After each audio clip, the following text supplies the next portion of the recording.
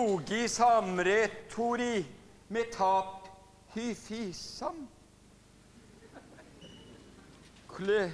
Die, die, die vene, venerisafniadomum. Profe... Sum. Sum. Sum. Sum. Sum. Det er synd Per Dein ikke er i bygden til det er så meget latin i min sønns brev som jeg ikke forstår.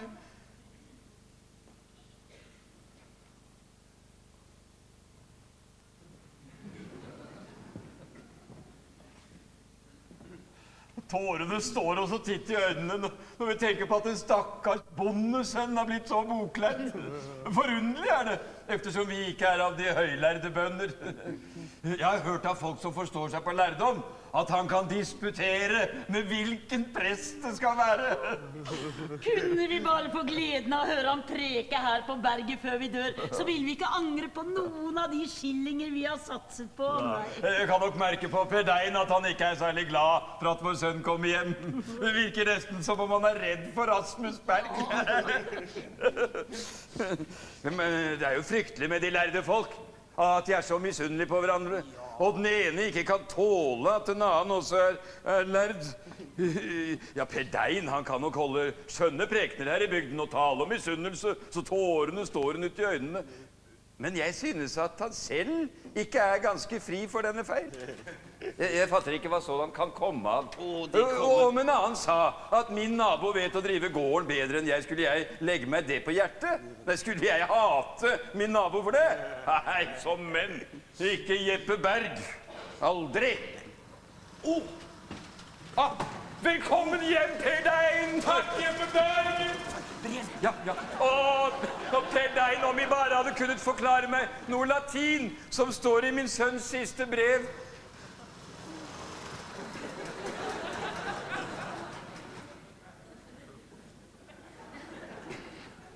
Mener I å antyde at jeg ikke forstår meg på latin like godt som Gjers sønn? jeg er gammel akademikus, jeg, Jeppe Berg. Ja, ja, nei, det vet jeg nok. Nei, jeg tenkte bare Litt forsiktig. Om vi forsto det nye latin. Ja, til det språk forandres vel også akkurat som vårt. Til min ungdom da talte man ikke sånn her på berget som nu. Det som nu kalles lakei, kalte man den gang dreng. Det man nu kaller uh, elskerinne, kalte man den gang bislåperske. Bislåperske? ja. ja, ja, ja, frøken kalte man statsmø, sekretær, skriver, musikant, spillemann. Så jeg tenkte bare at uh, den latinen også kunne være forandret siden I var her nede i København. Men, men Per, ja, her er noe jeg ikke kunne kan du forklare meg Altså, jeg kan nok lese bokstavene, men jeg fatter ikke meningen.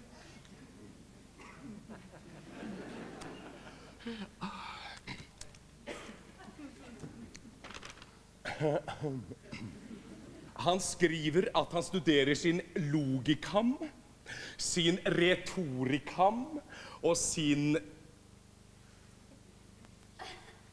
sin metafis i kam. Ja, men, men, men, men hva betyr det, det ordet der, da? Logikam? Logikam, Ja. det betyr prekestol. Prekestol! Å, Gud, min sønn, bare kunne bli prest. Ja, ja, men dein først. Dein først. Ja, men Per, her, det andre, hva betyr det? Det neste? Retorika. Ja. Ja. men det ligger jo i ordet. Man, retorika. Altså ritualene på vårt språk. Men, men, men her er enda noe mer jeg ikke Ja, forstår. eh, metafis i Nei, altså, det må være feilstavet. Ja, eller kan kanskje være fransk. At det er metafysikk Altså, for Hvis det var latin, da forsto jeg det nok. Altså, Jeg er jo kapabel etter deg til å regne opp hele den elementære grammatiske innføring på fingrene. Al det vingang, det pike, barbreit, skjegg, coitus eh, mm. Nei, det har jeg glemt. Eh, men servicia, det er eh, Øl? Ja, Campania er en uh, klokker, Cello er en kjeller. Lasagne er eh, en flaske. Og spiritus, altså det er spiritus. Ja. Og uh, kjøpmann, det heter domus. Vet du, det bøyes akkurat som Rema. altså, det bøyes um, Rema Rimiprix. Gi meg en forbannet i hukommelse, Per. Ja, altså, Jeg hadde ikke tenkt å bli lenge slik fattig deinekall. Jeg kunne vært noe annet for lenge siden hvis jeg bare hadde villet binde meg til en pike. Ja, ja. Men altså, jeg vil jo heller klare meg selv så godt jeg kan, enn at det skulle sies om meg at jeg har fått brød for kone. Ja, ja, men, men, men Per, her er enda noe mer jeg ikke forstår her. Dette her, dette her, ja. Die Veneris Hafnia Domum Veneris? Nei, fy Hva er det, da? Nei, altså, jeg er en kirkens mann. Min eh, munn er lukket. Nei, Per, men, nei, hva er fatt her? da? Jeg er redd, Altså, han burde vaske sin munn med sepe. Veneris Altså, jeg skal oversette det, selv om det gjør meg ondt at deres sønn bruker et så ugudelig språk. Die Deneris hafnia. Die betyr næres. Altså, det næres deneriske sykdommer i havnen. Hva? Dommum profekturus sum. Altså, som dumme professorer betaler store summer for. Men min, min sønn Min sønn, han er godt og kristelig oppdraget. Aldri om han ville vanke på slike Ja, steder. det er ikke mine ord. altså Jeg oversetter jo bare det han skriver. Når venter de ham hjem? I dag eller i morgen. I dag. Ja. eh, Å, men kjære Per, bli litt her, så springer jeg inn til Nille. Hun kan komme med øl til oss. Nei, tusen takk! Det er altfor tidlig å drikke øl. Jeg vil heller ha brennevin. Altså, Jeg synes sant å si ikke som eget ånd at Rasmus Berg kommer hjem. Ja, ja, det er jo ikke fordi jeg er redd for hans lærdom. Å nei, altså jeg var jo allerede gammel student mens han ennå gikk i skolen og fikk med forlov på sin lille rumpe. Å nei da, da deponerte andre karer i min tid. Det var ikke som nå for tiden. Altså, Jeg disponerte ut fra Slagelse skole sammen med Per Monsen og Rasmus Jespersen, Kristen Klim, eh, Mats Hansen. Um, ja, akkurat. Det var han som vi i skolen kalte for Mats Pannekake. Og så var det Paul Iversen som Det var Paul Iversen. Vi kalte han for Paul Finkeljokum. Ja. Ja, altså, det var jo bra karer. Altså, de hadde jo ben i, i pannen, og de hadde skjegg på haken, og de var jo kapable til å disputere i hvilken materie det skulle være. Så. Ja. Ja, ja, jeg er jo bare blitt dein. Men jeg er fornøyd så lenge jeg har mitt daglige brød og, og forstår mitt embete. Og eh, altså, jeg har forbedret det meget ut i inntektene. Altså, jeg har det som ingen av mine forgjengere hadde det. Ja. ja. Um, altså, folk tror at det ikke fins regler og forordninger, embetsplikter og vedtekter å forvalte som dein. Og jo, jo, jo, jo, jo. Et deinekall, det er min santen et vanskelig embete. Når man skal ha det på den fot at det kan fø sin mann. Dere skjønner, før min tid, da holdt alle her i bygden alle liksangere for å være like gode. Hva? Jeg har brakt det på den fot at jeg kan si til en bonde Hvilken salme vil du ha? Altså, Den koster så meget, og den koster så meget. Og på samme måte har jeg gjort når det skal kastes jord på den døde. Jeg mener, hva slags jord vil du ha? Jeg har laget noen slagord. Drakk deres mann i bøtter og spann. Legg han tørt, begrav ham i sand. Var gutten god som gull, legg ham i mm, munn. Likte de svigermor, husk matjord. Ja, altså på den fot har jeg brakt det. Ja, Det fins også en mengde andre forordninger som min forgjenger Kristoffer Dein. Altså, han ante ikke at de kunne benyttes engang. Men så hadde jo ikke han heller studert. Altså, Ikke kan jeg begripe hvordan han kunne drive det til dein. Men så var han jo også dein deretter. Åh, latin. Det hjelper et menneske ut i alle forretninger. Jeg ville ikke miste den latinen jeg kan. Ikke om han ga meg 100 riksdaler. Hva? Eh, nei, tusen takk. Nei, den er innrakt med 100 riksdaler i mitt embete. Ja, ja, ja, 100 til. til. Møtt, Per. Og vel møtt, mor lille. Å, å, ja, ja. Sånn. Nei, tusen takk, mor lille. Jeg drikker aldri brennevin, unntagen når jeg har vondt i maven. Au, au, au, au. Dessverre, jeg har nesten alltid en dårlig mage. Å, ja. Ja, Men vet, litt vondt her, bare litt på siden her, snill. Å, tusen takk. men vet De, Per, at, at min sønn Rasmus kommer hjem i dag eller i morgen? Der får I en I kan tale med. Til han er ikke skåren for tungebånd, efter hva jeg har hørt. Å ja, han kan vel en hop klosterlatin, kan jeg tenke meg. Klosterlatin? ja, men det må jo være den beste latin, eftersom jo klosterlikør er den beste likør. Ja. og, og Veneris Hafni er det beste veneriske Nei, nei, nei, jeg lo overhodet ikke av det, Jeppe Berg. Jeg bare utbrakte en skål for mor Lille. Ja, skål, mor Lille. Det er klart. Altså, klosterlikør er utmerket likør. Ja, klosterlikør er den beste likør, Ja. og klosterlatin er den beste, ja. Ja, det er så sant som det er sagt, mor Lille. Ja, kanskje jeg kunne få litt å bite i til i brennevinet? Her har vi litt brød og ost om vi ikke forsmår. Vet dere hva brød heter på latin? Nei, nei, min santen om jeg vet. Det heter panes. Panes. Nominativ panes, genitiv pano, dativ panæ, voklativ pani, akuklativ penis. Din død og. Det språket er mitt løft i. Hva heter grovbrød? Det heter em, panis grovis.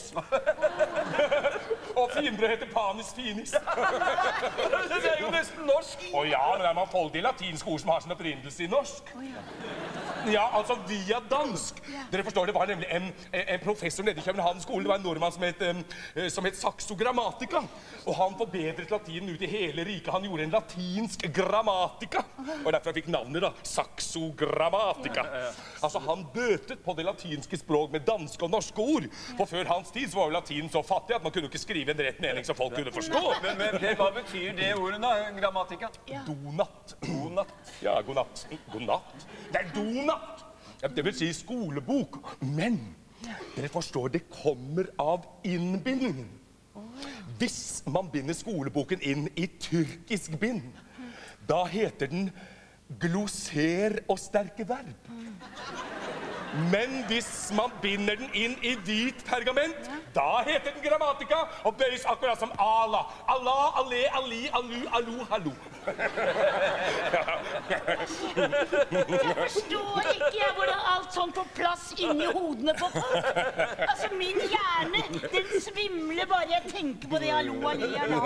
Jo, men Det er jo også derfor lærde folk ikke er helt riktig i hodet. For noe snakk! Mener du at vår sønn Rasmus ikke er riktig, da? Nei, nei da, jeg mener bare at jeg syns det er litt merkelig at han skriver latinske brev til meg. Ja, jeg mener bare at det, det, det er jo litt naraktig. Jeg mener Det ville jo være det samme som om, om jeg for skulle snakke gresk med ridefukten bare for å vise at jeg behersker det språket. Forstår de gresk òg, Per? Å, for 20 år siden jeg kunne stå på ett ben. Ja, akkurat. Ja, ja, ja, men det Det var vel 20 år siden, det. Ja, altså min Jeg kunne hele litani på gresk. Ja. Jeg husker enda at det siste ordet var amen. Ja, Det skal bli artig når min, sønn kommer hjem. Vi kan bringe dere to sammen. Ja, vil han disputere med meg, da skal han finne mannen for sin hatt. Men hvis han vil synge om kapp med meg, da kommer han til kort. Ja, jeg har sunget om kapp med ti deiner. Jeg er havren, jeg har bjell. Altså, jeg tok bjellene fra dem alle sammen. Jeg holdt bjellene lenger enn noen av dem. Og for ti år siden jeg ble tilbudt å være kantor i Vår Frues skole. Men jeg ville ikke, Jeppe Berg. Jeg ville ikke. Jeg mener, Hvorfor skulle jeg det? Hva? Hvorfor skulle jeg forlate min menighet, som elsker å ære meg, og som jeg elsker å ære igjen? Hva? At jeg bor på et sted hvor jeg har mitt daglige brød, og hvor jeg er reseptert av alle. Jeg mener, Amtmann han kommer jo aldri hit uten at jeg blir budsendt og skal synge for ham. Nei, vet dere hva? Vet du, i fjor Han tilbød meg to mark for at jeg skulle synge Ut, re, mi, fa. Altså, Han svor på han hadde større glede av det enn den største sangkunst han hadde hørt nede i København. Altså, Hvis jeg får en liten til, så skal jeg synge det samme for Jeff. Ja, altså, Jeg synger ikke for hvem som helst, men de er min gode venn Jeppe Berg, som jeg tjener med fornøyelse. Sitter dere godt? Ja. Ut, re, mi, fa, sol, la, si, ut. Jeg kan ta den tilbake også. Ut, si, la, sol, fa, mi, re, ut. Vil dere høre hvor høyt jeg klarer å gå? Det var kanskje litt vel høyt.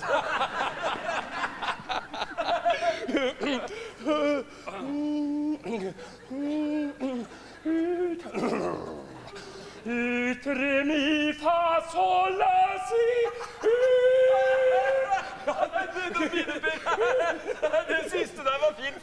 Ja, selv de små grisene våre kommer ikke så høyt med røsten. Nei, nei, de gjør vel nesten ikke det. Men jeg kan synge mye fortere enn en gris. Vil dere høre hvor fort jeg kan klare å synge? Altså, 1, 2, 3, 4. Vet du, Den kom så fort at jeg hørte den ikke selv. Det er forferdelig tungt å synge så fort.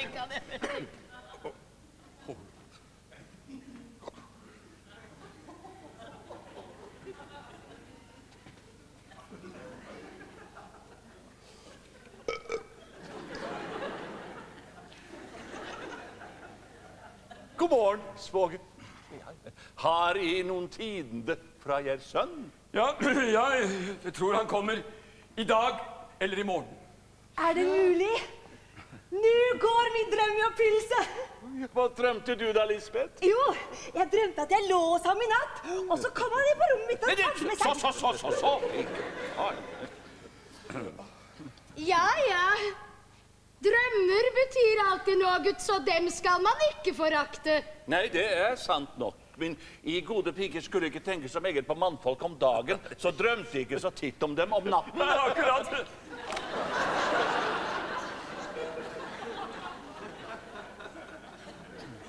Du drømte vel ikke så sterkt om meg i de dager da vi var forlovet sammen, Magdalone? Ja? Ja, det er sant, ja. Men nå har jeg ikke drømt om deg på mange år.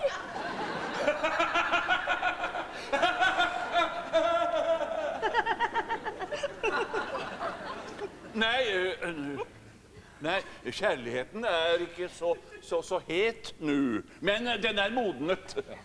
Kommer virkelig Rasmus allerede i morgen? Hvor tid har jeg ikke bedt om å tøyle dine følelser? Ikke la deg merke med at du er så forlipt. Men er det visst? Kommer han igjen i morgen? Du hører jo det gode herr svigerfar sier. Han kommer i morgen. Hvor lenge er det til i morgen, Ja, men far? ikke et forbannet snakk til disse forlipte folk. Det er liksom de er gale. Jeg teller min tro hver time. Ja, nå er det vel ikke før du spør hvor lang en time er, så folk kan tro du er rent gal. Hvor lang er en time? Ne, ne, nei, La nå oss foreldre få tale sammen. Hør, min gode. Eh, Jeppe Berg holder i det for tilrådelig at disse to unge mennesker kommer sammen før han får brød. Jeg kunne nok ha underholdt dem, jeg, men eh, det var nok best om han fikk brød først, ja. Ja, Jeg holder det absolutt ikke for tilrådelig at de kommer sammen før brødet. Før brødet, nei. Nei, først brød, så, så kone og og barn. Mm? Nei, nei, nei, så, så, så, nei, nei, til stille nu, pik! Nei, men hør nå her, det er han spott for en ung pike å oppføre seg sådan. Ja, Når får han dette brødet, da? Han, han får jo dette brødet på Han får et brød. Han, selvfølgelig får han brød. Han, han, eh, han, han, han skal være så klok at uh, han kan lese hvilken bok det skal være. Og forleden så skrev han meg et latinsk brev. Makroster-latinsk. Ja. Og det er den beste latin, så bare, bare spør deg den. Var det virkelig så godt skrevet? Ja, det var jo godt nok for en slik ung mann. ja, da, Han kan nok bli bra med tiden, mann med selv. Det skal jo ellers meget til. da. Altså, jeg trodde også at jeg var lærd i hans alder. Vi roser aldri hverandre i lærde folk. Nei, men For noe tull skulle jeg være sjalu på ham? Det altså Før han ble født altså Jeg hadde jo altså, Jeg hadde jo stått i skammekroken tre ganger. Altså. Mens han ennå gikk i fjerde klasse. Jeg hadde jo vært deilig i åtte år. Og... En kan ha mer i hodet enn en annen. En kan lære like meget på ett år som en annen bruker tid på. Da kan Per Dein sette sitt hode mot hvem det skal være. Ja, ja, ja, ja, ja, hver kan være god for seg. Kom, la oss nå gå hjem, barn. Farvel, Jeppe. Jeg gikk her forbi, og da ville jeg bare tale med dem på veien. Ja.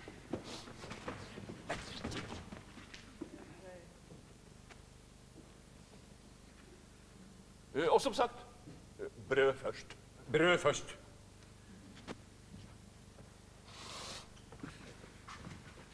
Vær så snill å gi beskjed til meg når han kommer.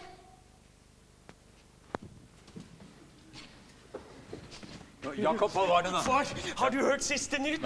Rasmus har kommet igjen. Nei, død og pinn, er det mulig? Hvordan ser han ut? Åh, han ser meget lærd ut. Ja, Rasmus Nilsen som kjørte for han sverger på at han gjorde ikke annet enn å disputere med seg selv på gresk og elamittisk hele veien. Og av og til med sånn iver at han slo Rasmus Nilsen tre-fire ganger i nakken med bare knyttneven og ropte 'Probe majorem! Probe majorem!' Ja, han har nok hatt en disputt med en major før han reiste, kan jeg tenke. Ja, ja. Ja. Men, men av og til Av og til så satt han bare helt stille og stirret på månen og stjernene og Og det med en sånn alvorstung mine at han falt av vognen tre ganger. Han var nær ved å brekke nakken av Luther lærdom. Rasmus Nilsen lo seg nesten i hjel og sa til seg selv jo, Rasmus Berg kan nok være en klok mann på himmelen, men han er en narr på jorden, sa han. Ja, det Nei, Kom, kom, kom, kom, så går vi og møter ham. Å, kjære Per, kan ikke I òg bli med? Det kan hende har han glemt sitt morsmål og taler ikke annet enn latin. Og så kan I være tolk. Eh, Nei, jeg beklager meg. Altså, jeg har en usedvanlig stor mengde med embetsplikter som må utføres prompte. Beklager, jeg har ingen mulighet til å sk...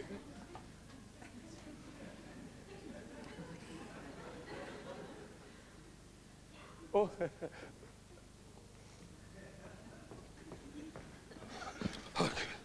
Ja, ja. Det blir for meget av dette.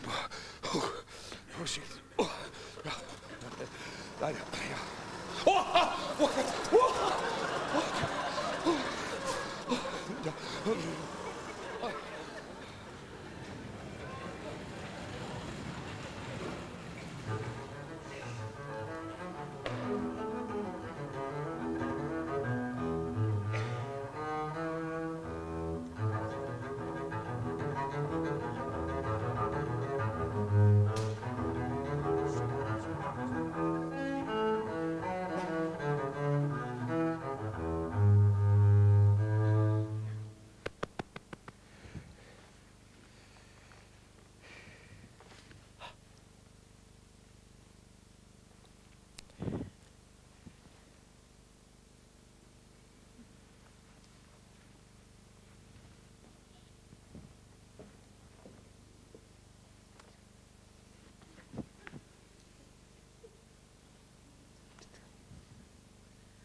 Jeg har eh, kun vært tre dager borte fra København og lengter allerede meget sterkt tilbake. Hadde jeg ikke hatt mine gode bøker med meg, kunne jeg aldri ha levet på landet. Studia secundas, res ornant adversis solatium Solatium Solatium Prebent. Jeg synes liksom jeg savner noe, siden jeg ikke har disputert på tre dager. Ikke vet jeg om det finnes lærde folk her i bygden, men om der er noen, skal jeg nok sette meg i arbeid. Ti, jeg kan ikke leve uten å disputere. Mine stakkars foreldre kan jeg ikke snakke meget med. De er enfoldige folk og har neppe mer enn sin barnlærdom, så jeg har ikke mye glede av dem. Dein og skolemesteren skal ha studert. Jeg vet ikke hvor langt det strekker seg, men jeg skal se hva de duger til. Jeg skal se hva de duger til, og når den tid Velkommen hjem igjen, din kjære latinske bror.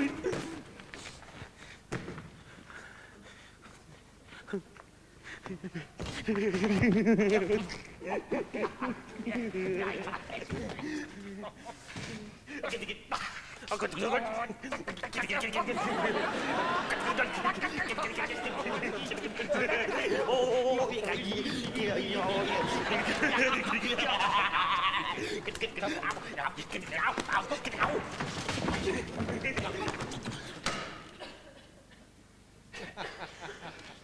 er meg kjært å se deg, Jakob. Men hva det brorskap angår, så var det godt og vel å ha i gamle dager. Men nå passer det ikke så godt lenger. Hvorfor ikke er du ikke lenger min bror? Det har jeg heller ikke benektet. Slyngel. Jeg er din bror av fødsel. Men du må vite at du ennå er en bondetant, mens jeg er en filosofia baccalaureus. Jakob. Ja, ja. Jakob. Hvordan lever min kjæreste og min svigerfar? Å jo, bare bra. Ja da, de var her nylig og spurte om når bror kom hjem. Bror, nu igjen. Jeg sier ikke av hovmod, Jakob, men det går profekt du ikke an. Hva skal jeg da kalle bror? Du skal si Monsieur Montanus. Til så heter jeg nå København. Hvis jeg bare klarte å huske det, så var det Monsieur eh, Dromedarius. Men Hører du ikke hva jeg sier? Jeg sier Monsieur Montanus. Monsieur Montanus. Monsieur Montanus. Utmerket, Jakob. Til Montanus på latin er det samme som berg. Berg. Men da kan jo jeg kalle meg monsør Jacob Montanus. Når du har gått så lenge i skole som jeg og bestått din eksamen, så kan du også gi deg et latinsk navn. Men så lenge du bare er en enkel bondetamp, så må du nøye deg med rett og slett å hete Jakob Berg, Jakob Berg. Jakob. Ja. ja. Jakob. Ja. Har du merket om min kjæreste lengter efter meg? Ja. ja visst, ja. Hun går ut av sitt gode skinn for at du har vært så lenge borte. Du får ikke lov å si du til meg, Nei, tølper. Jeg, jeg, eh, ville si at monsørs kjæreste har vært utålmodig for at du har vært så lenge borte. Men nå har jeg kommet tilbake, Jakob. Og det ene og alene for hennes skyld. Men jeg blir ikke her lenge. Til så snart vi har holdt bryllup, så tar jeg det med meg tilbake til København. Kan ikke Monsieur ta med meg også, da? Ja, men hva vil du der og bestille? Jeg skulle så gjerne se meg litt om i verden. Å, jeg skulle ønske at du var en seks-syv år yngre, så skulle jeg satt deg latinskole, så du også kunne blitt student. Å, nei, det ville ikke vært noen god idé. Ja, men hvorfor ikke? Jo, for så ville jo foreldrene våre endt som tiggere. Hør hva han kan få seg til å si. Ja, jeg er full av innfall. Hadde jeg, eh, hadde jeg fått studere, så hadde jeg blitt en faens luring. Ja? Ja. Ja! Jeg hører at du skal ha et godt hode, Jakob. Hva ville du ellers eh, bestille i København? Og jeg skulle gjerne sett det runde tårn. Det runde tårn. Ja. Og også klosteret hvor man lager likør og, og Å, du Jakob, du Jakob. Du, ja, så, så, så, så, ja. Har min svigerfar eller så mange midler som det sies? Å ja. Ja visst, ja. Jeronimus er en rik gammel gubbe. Snart så eier han tredjeparten av bygden. Ja. Vet om han akter å gi noe utstyr med sin datter? Jeg tror nok at han kommer til å utstyre henne vel, ja. Særlig hvis han får høre monsør preke en gang her i bygden. Å nei, det blir det ikke snakk om. Hva? Nei, jeg nedlater meg ikke til å, preke for en liten landsens allmue. Og ellers så foretrekker jeg nå å disputere, Ja, Jakob. jeg mener at det er bedre å kunne preke. Nei, Men vet du hva det vil si å kunne disputere? Ja. Ja. Ja, jeg eh, disputerer hver dag, jeg her i huset med pikene.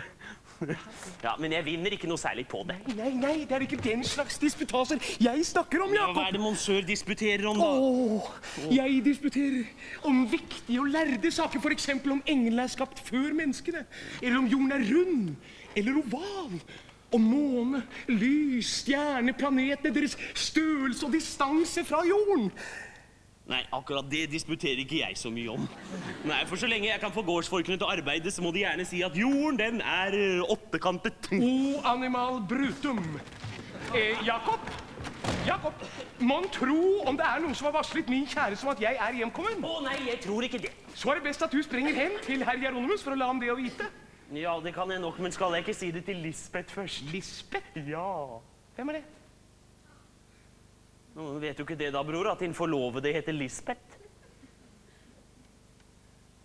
Henne Henneven Har, har Slyngel allerede glemt hva jeg nylig har lært Han skal ikke dutte! Nei, du kan kalle meg en slyngel som vil, men du er like fullt min bror! Hold munn, ellers skal jeg slå deg! Nei, det er ikke pent å slå Bibelen på folk! Dette er ingen bibel, det skal jeg jeg kjenner love! vel i en bibel! Ja, men dette er Den bok- boken der er stor nok til å være en bibel! Ja, men dette er en bok Nei, jeg ser da godt at det er verken evangelieboken eller katekismen. Ja, men dette men hva det enn er ikke er, det, det er synd å kaste bøker efter sin bror. Hold munn, din bondeslyngel! Jakob, det er den bondeslyngelen som du sier, som med sine egne hender tjener de pengene som mine foreldre sender deg, og som du setter over styr! Kom her!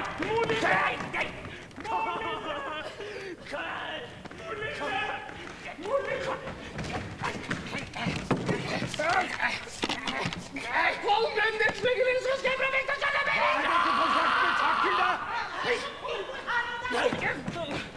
Min bror Rasmus slår meg. Han slår meg ikke uten grunn, vel? Sånn nå. Nei, hvor lille er. Han kommer hit og bruker munn mot meg som om jeg skulle være hans likemann. Slapp av, dask! Du skal vite å respektere en så nær mann. Så vet du ikke at han har vært en ære for hele vårt hus.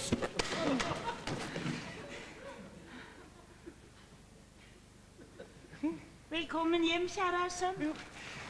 Ja, herr sønn må ikke ta det ille opp. Han er jo bare en ulærd tølper, så Jeg, jeg sitter her og spekulerer på viktige og lærde saker, og så kommer det inn denne importunissimus audacissimus juvenus og hindrer meg uti. Importemissemustek! Sånn. Det er ingen barnelek å ha med disse transcendentalibus å bestille. Kjære sønn, ikke vær sint. Det skal aldri gjenta seg oftere. Jeg er så redd for at herr sønnen har hisset seg for meget opp. Ja, lærde folk tåler ikke så mange støtene. Jeg vet Per Dein hisset seg opp en gang. Han brukte tre dager på å falle til ro igjen. Per Dein. Er han lærd? Åh, ja visst. Ja, han har, Så lenge jeg kan minnes, har vi ikke hatt noen deg nær i bygden som har sunget bedre enn han. Og nei, men han kan være ulærd for det. Jo, jo, men, men han preker også svært bra. Nei, men han kan fortsatt være ulærd. Nei, hvordan kan den være ulærd, som preker godt? Jo visst, mor lille. Alle ulærde preker godt. Fordi de selv ikke kan skrive noe ut ifra eget hode. Og må bruke lånte skrifter og lære utenat tegn og taler som de mange ganger selv ikke forstår. Men la de karer disputere som jeg. Og det er en sann prøvesten på lærdom jeg kan disputere. På god latin om hvilken materie det skal være. Om noen sier at den båten er en lysestake, så skal jeg forsvare det. Om noen sier at kjøtt eller brød er strå, så skal jeg også forsvare det. Det har jeg gjort mang en ærlig gang. Farlille, farlille, farlille, farlille. Sitt.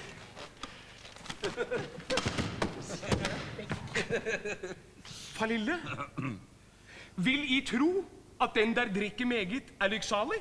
Nei, jeg vil heller si han var ulykksalig. Man kan jo drikke både sin forstand og penger bort. Jeg skal bevise at han er lykksalig. Ti kinkve bene bene benedorm. Benedorm. Nei, det er sant. I taler jo ikke latin. Nei. jeg får tale norsk, så jeg henger med. Altså, Den som drikker meget, sover gjerne godt. Er ikke det sant? Jo, jo, det er sant. Jo, til når jeg har meg en halv rus, så sover jeg som en hel hest. Og den som sover, synder ikke. Er ikke det også sant? Jo da, jo, det er sant. Ja, når man sover, så synder man ikke. Og den som ikke synder, er lykksalig. Ja, det er også sant. Ergo, den som drikker meget, er lykksalig.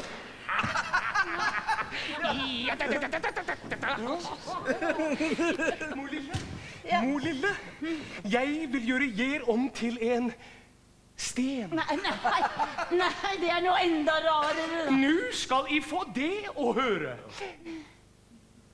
En sten kan ikke flyve. Nei. Nei, det er sant. Unntagen man kaster den. I kan ikke flyve. Nei, det er også sant. Ergo er mor lille en sten.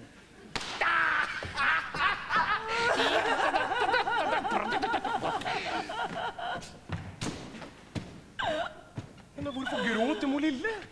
Jeg er så redd. Jeg er så redd jeg blir til sten. Mine ben begynner alt å bli kalde. Ta det med ro, mor lille. Mor lille, jeg skal straks gjøre dere til menneske igjen. En sten kan ikke tenke eller tale. Jeg vet ikke om den kan tenke, men tale, det kan den i hvert fall ikke. Mor lille kan tale. Ja, Som en enkel bondekone kan jeg jo tale. Ergo Er mor lille ingen sten?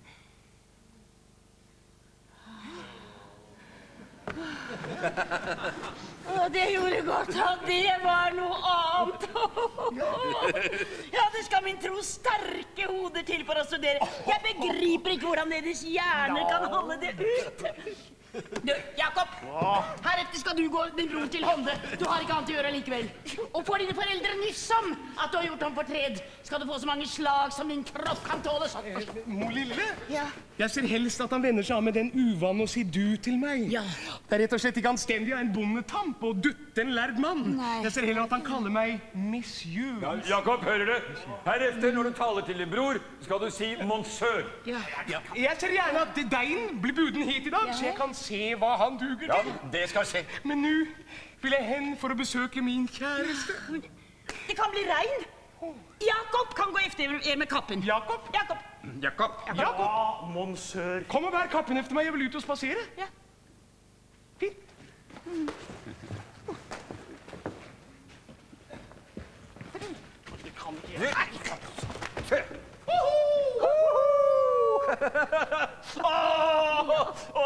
glede av den sønnen, mor lille. Jo, for ham er ingen skilling unyttig spilt. Nei.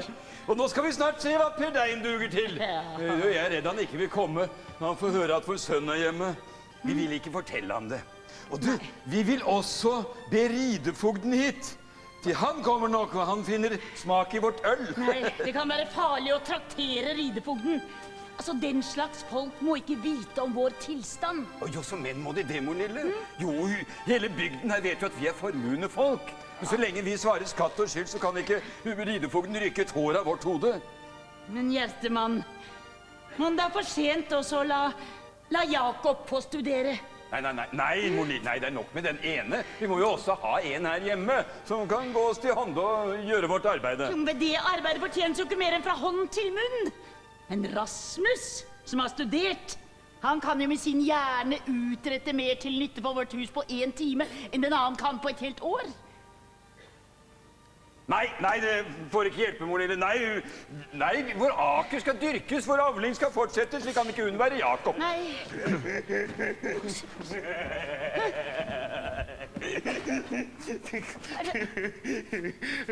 Ja, ja, min bror han kan gjerne være en meget lærd mann, men han er også en stor tosk. hvordan våger du å kalle din bror en tosk? Jeg vet ikke hva jeg skal kalle den slags. Jeg må lille, det regner i bøtter og spann, og han lar meg gå med kappen på armen efter seg. Ja, ja, men kunne ikke du da vært høflig og sagt Monsieur, det regner. Vil ikke monsøren ta kappen på? Skulle jeg altså fortelle den person som mine foreldre har ofret så mange penger på for å lære visdom og kunnskap, at man blir våt når det regner?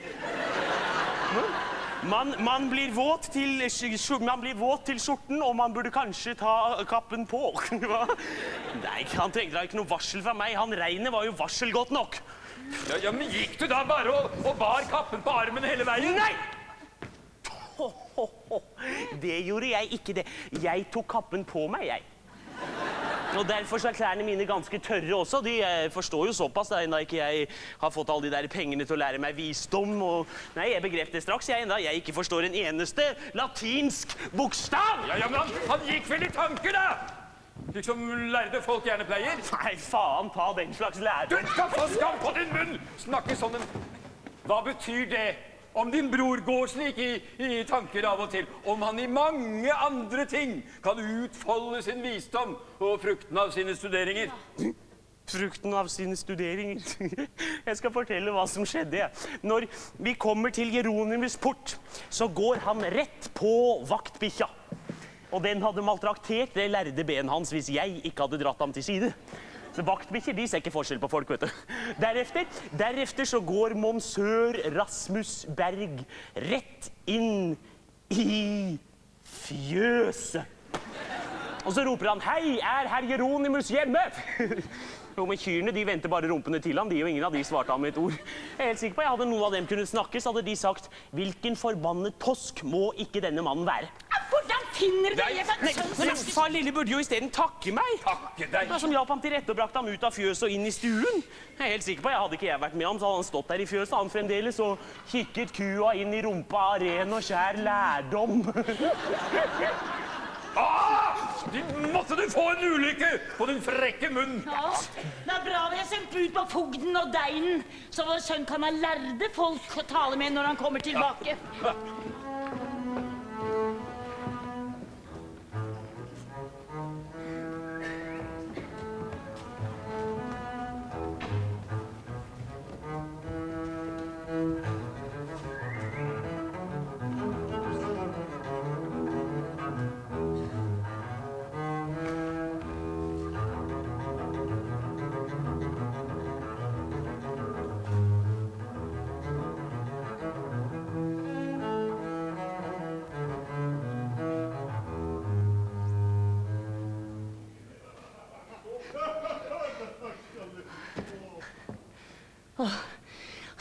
sønn herr Montanus har vært så lenge borte.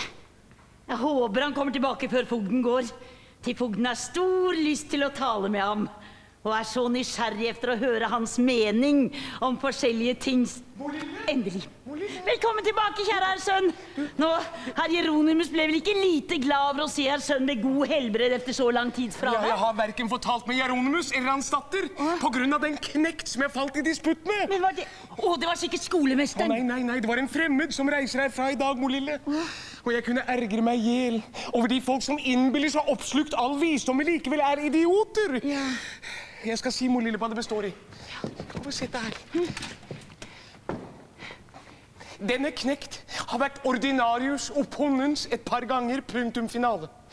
Og da preses en gang distingverte interem et modum rei, så spurte han quid hoc est? Mm. Slyngel!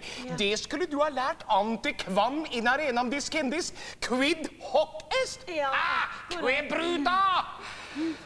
En mann som ignorerer kardinales distinksjones og vil disputere publiket. Åh, jeg, jeg, jeg kan jo høre av det jeg sier, at denne mannen må ha vært en narr. En ignorant! Importe bisibus.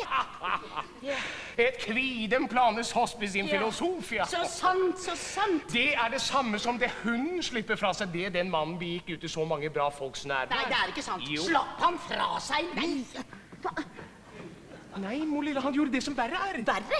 Han konfunderte offentlig materiam cum forma. Og materiam må fysja meg. Og den mannen innbiller seg å kunne disputere. Han Nei, så fanden om han kan. For ikke snakke om den feilen han gikk ut i sitt poemio da han sa Lektismi et doktismi og ja. lektissimus før doktismus. Ja. En alektismus er et predikat man kan gi en depositur. Ja. skulle si meg en ting. Fikk ikke herr Skjønn tale med Jeronimus, da? Nei, altså idet jeg skulle til å banke på, så så jeg så denne mannen komme gående forbi. Og siden vi kjente han, så gikk jeg hen og hilste på ham, hvorpå vi straks kom i snakk om lærde saker og endelig i disputt. Ja, jeg måtte gi opp hele besøket, mor lille. Men Jeg er så redd herr Jeronimus tar det ille opp at herr Skjønn har vært der, siden jeg er uten å snakke med ham. Men Jeg kan jo ikke noe for det. Jeg kan jo ikke noe for det når noen angriper filosofien. Så angriper han også min ære. Jeg holder av min mademoiselle Lisbeth, men min metafysika og min logika har prioritet. Hva? Har De forlovet dere med to andre piker nede i København? Nei, nei, nei, jeg, jeg misforstår. Det er ikke piker, men tvende vitenskaper. Tvende, ja. Ja, Det er vel noe annet. ja. Servitør, monsieur! Der har vi fogden. Og Vær nå ikke sint lenger. Han kan jeg umulig være sint på, mor lille. Dette er en enfoldig, ulærd mann som jeg ikke kan falle i noen disputt med. Jo, Og jeg gratulerer med ankomsten. Jeg takker herr ridefogden. Jeg er glad for at vi har fått oss en så lærd mann her i bygden. Uff, det har nok kostet ham mye hodebry før han er kommet så langt. Jeg ønsker også å gi til lykke Jeppe Berg med deres sønn. Nå har jeg nok fått glede på jer gamle dager. Ja, stor glede, det er sant og Men hør, min kjære monsieur Rasmus Berg. Det var noe jeg gjerne ville spørre han om. Mitt navn er Montanus. Montanus? Montanus. Er det det samme som Rasmus på latin? Ja, Rasmus er Montanus på latin. Ja, ja. Altså, hør, min kjære monsieur Montanus Berg. Ja, jeg har hørt at lærde folk har så underlige meninger. Er, er det sant at man der nede i København er av den mening at, at jorden er rund? Ja, her på berget vil ingen tro det. De, hvorledes skulle den kunne være det? Den synes jo ganske flatt. Det kommer derav at jorden er så stor at man ikke merker dens rundhet. Eh, Ja, det er sant. Jorden er stor. Den er nesten halvparten av hele verden.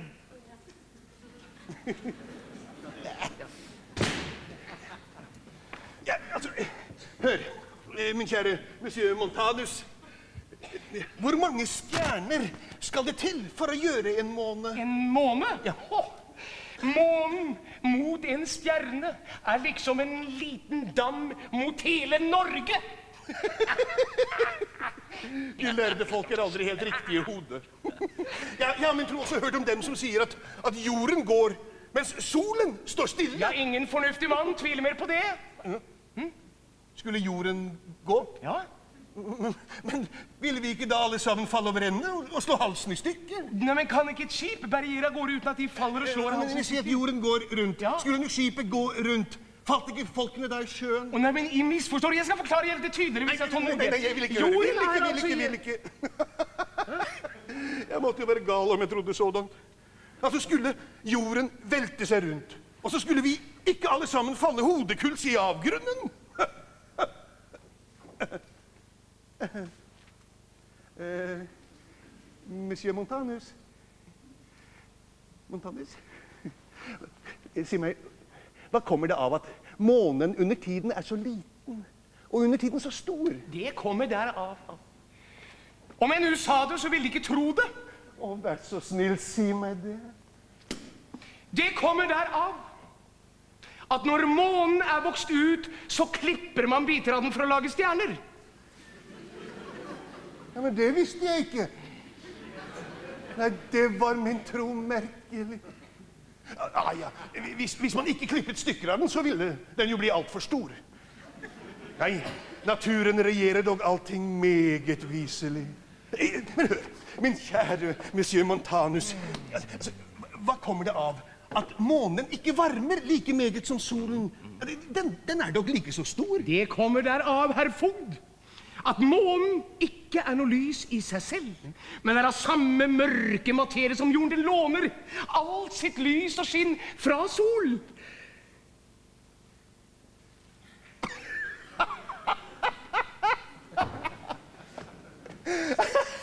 Nei, dette er noe forvirret tøv. Man kan jo bli redd katolsk i hodet av det. Å, velkommen, Per Ein!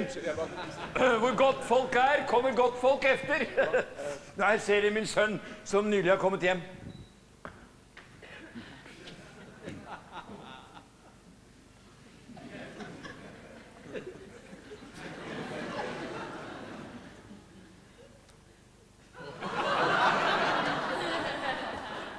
Velkommen hjem, monsieur Rasmus Berg. Og i, i København så er jeg vant til å bli kalt Montanus. Jeg ber om at I kaller meg det samme. Ja, selvfølgelig. Det kan jo komme meg ut på ett. Eh, Hvorledes står det ellers til nede i København? Jo takk, bare bra. Eh, Ble det mange immatrikuleret i år? Ja, som det pleier. Ble det noen regisseret i år? To eller tre kontinuer. Og hvem var makulator i år? Jo, det var en Hva vil eh, det si? Å, jeg får vel uttrykke meg litt tydeligere. Altså, Hvem var makulator til vers og bøker som går i trykken? Eh, Skal det være latin? ja, altså I min tid så var det meget god latin. Skal det da forestille et nomen eller et verbum? Det er et nomen. Ja, det er rett, Per. Du svarer bra for deg. Plus declinationes er da makulator.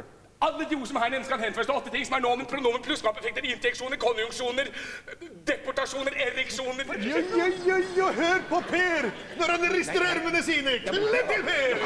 Han, han, han, han svarer jo ikke på det jeg spør ham om. Hva er, mak hva er makulator i genitiv? Nominativ, ala, genitiv, dativ, hallo, buklativ, ali, akulativ, hallo. Hallo? Ja, hallo, hallo. Å, monsieur Montanus, vi har altså med oss folk her på berget! Ja, det deponerte jo aldri folk i min tid. Altså, det er jo ikke som nå for tiden. Det var jo karer som lot seg rake to ganger i uken, og de kunne jo skandere alle slags vers. Ja, det er jo storartet. Sådant gjør man jo i andre klasse. Nå om stunder så deponerer karer fra København skole, som kan gjøre hebraiske og kaldiske vers. Ja, men så kan de vel ikke meget latin? Latin! Om I begynte på skole nå, så kom I-er ikke lenger enn til sinkeklassen. Men sikkert det! Monsieur Montanus, det er en som en bra studert mann. Ja, det har jeg hørt både herredspunkten og amtsforvalteren sin. Kanskje de forstår latin like godt som han? Jeg hører da at han svarer godt for seg. han svarer jo ikke på det jeg spør han om! Han svarer jo ikke på det jeg spør han om! Han svarer jo ikke Vær så god. Jeg er klar. Vær så god. Hva skåla de med suksess, midomene? Vene dedi vekki, carpe diadem. Du gir ham huden full, det er! Hvis, hvis fogden hadde skjønt hva han sa, så ville han ledd sin mage i stykker. Jeg spør han fra hvilken skole han har deponert, og han svarer noe hen ut i tåken. Navigare necessest, morituri til hemoride. Ja, ja, ja. Svar på den! Ja, svar på den. Ja, men så svar nå bare! nei, altså, altså jeg, jeg, jeg, jeg kan jo ikke svare på den. Ja, men jeg kan jo ikke, jeg kan jo ikke svare på den! Det er jo ren pølsesnakk! Mi estosis. Ok, La oss tale norsk. La oss tale norsk sammen, så de andre kan forstå. Så skal de straks forstå hva slags mann han er. Hvorfor gråter De gode kone? Jeg har så vondt av at min sønn må gi tapt ut i latin. Å, nei, men det er intet under. Han er jo så meget eldre enn ham. Det, det er slett intet under. Nei, la dem tale norsk sammen, slik at vi alle sammen kan forstå. Ja, men jeg hva det skal gjerne. være. Vi kan eksempel stille hverandre noen spørsmål. meg. Hvem var det som skrek så høyt at man kunne høre ham over den hele verden? Jeg vet ingen som skriker høyere enn esler og bygdedeiner. Nei, for noe tull kan man høre dem over hele verden. Nei, det var litt asen som var i Noas ark. For hele verden var i arken. Det er sant! Å, det sitter et pokkers hode på den pedeien! Den slo den fjerdedel av verden. nei, nei, nei, nei! Det, nei, nei! Jeg, jeg svarer ikke på slike idiotiske gåter. Det var Kain som slo sin bror Abel i hjel. Bevis! Bevis!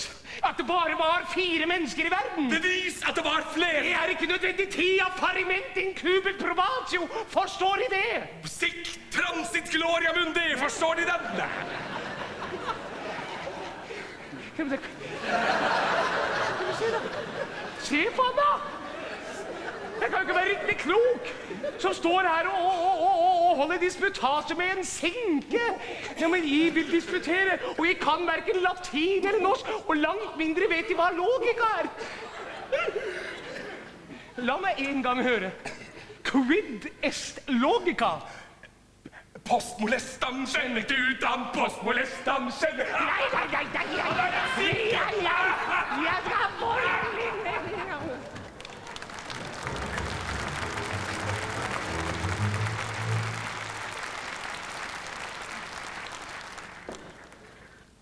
Herr Foged, jeg hadde ikke ventet å finne ham her. Jeg eh, ser efter min tilkommende svigersønn Rasmus Berg. Han kommer nå. Straks. Ja, og det var skade at de ikke kom litt før. Så kunne jeg hørt ham og Deinen disputere sammen. Nå, hvorledes løp det av? Ah, skam for Per Dein, han er slemmere enn jeg hadde trodd. Man merker at han har ikke glemt stort verken av latin eller hebraisk. Nei, det tror jeg nok. Han har aldri kunnet noe, så det er vel ikke stort å glemme. Ja, men si ikke det, monsieur Jeromus. Det sitter en forbannet munn på ham. Ja, det er en fryd å høre den mannen tale latin. Ja, det er mer enn jeg hadde trodd om ham. Ja. Ja, hvorledes ser min svigersønn ut? Han ser forbannet lærd ut. Ja, jeg ville neppe kjenne ham igjen. Han eh, har også et annet navn. Et annet navn? Ja. Hva heter han, da? Han kaller seg Montanus. Ja, det er det samme som Rasmus på latin. Fy for skam og heslig synd. Ja, det kan være det. med navnet som det vil for meg. Langt slemmere er det at han har så selsomme meninger uti troen. Hæ? Ja. Hva har han da for meninger? Å, det er skrekkelig. Det er så hårene reiser seg på hodet mitt. Jeg kan ikke erindre alt hva jeg hørte. Men jeg vet at han blant annet sa at jorden er rund. Ja, hva skal man kalle det? En slags Hieronymus? Altså, jeg kaller det å kullkaste all religion og føre folk av troen. En hedning kunne ikke snakket verre. Det, ha, ha, han må ha sagt det for spøk. Det er grovt å spøke således. Grovt. Men velkommen, kjære svigerfar. Det meg kjært å se ham ved så god helbred. Ikke rare helbreden for folk på min alder. Men De ser hjertelig godt ut. Ja, Synes de det? Eh, hvordan lever jomfru Lisbeth? Vel nok. Vel nok. Jeg synes min eh, kjære svigerfar svarer meg så koldsindig. Jeg har vel ikke grunn til annet. Ja, men hva ondt har jeg da gjort? Men jeg har sagt at de har sådanne egne meninger. Ja, Folk kunne tro at de er gal, eller katolsk i hodet. Det hvorledes kan et fornuftig menneske henfalle til den dårskap og si at jorden er rund? Å jo, profekto er en rund, jeg må si som sant er. Det er pokker til meg ikke sant! Hva? Nei, en sådan ko- kommer fra fanden som er løgnens far. Det finnes ikke et menneske her i bygden som ikke vil fornekte en sånn sannhet. Jeg må bare spør fogden som er en fornuftig mann, om han ikke er av samme mening som jeg. Ja, For meg kommer det for så vidt ut på ett om jorden er lang eller rund.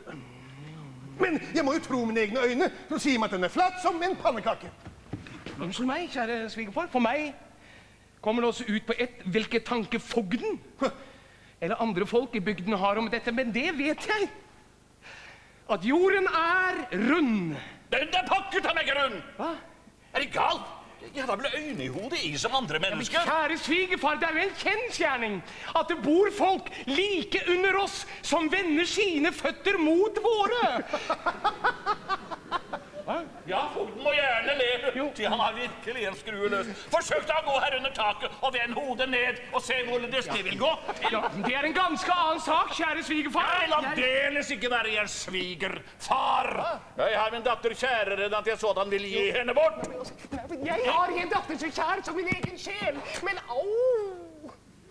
Men at jeg for hennes skyld skulle kullkaste filosofien og drive min forstand ut i landflyktet, det er da mer enn de kan kreve. Aha, jeg forstår. I har annen kjærlighet i hodet. Ja vel, behold bare jeg Lucie eller hva, Sofie eller hva det var. Jeg skal så visst ikke nøde min datter på jeg der. I, I misforstår. Filosofien.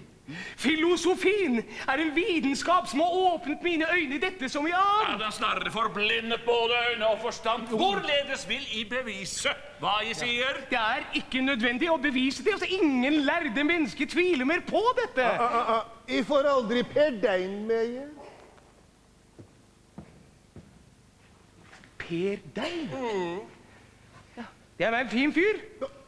Det er bortkastet å stå her og tale filosofi med jer.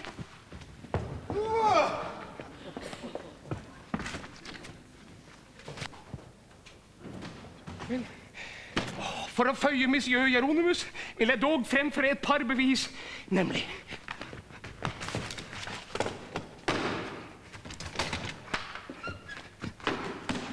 Sitt. Sitt.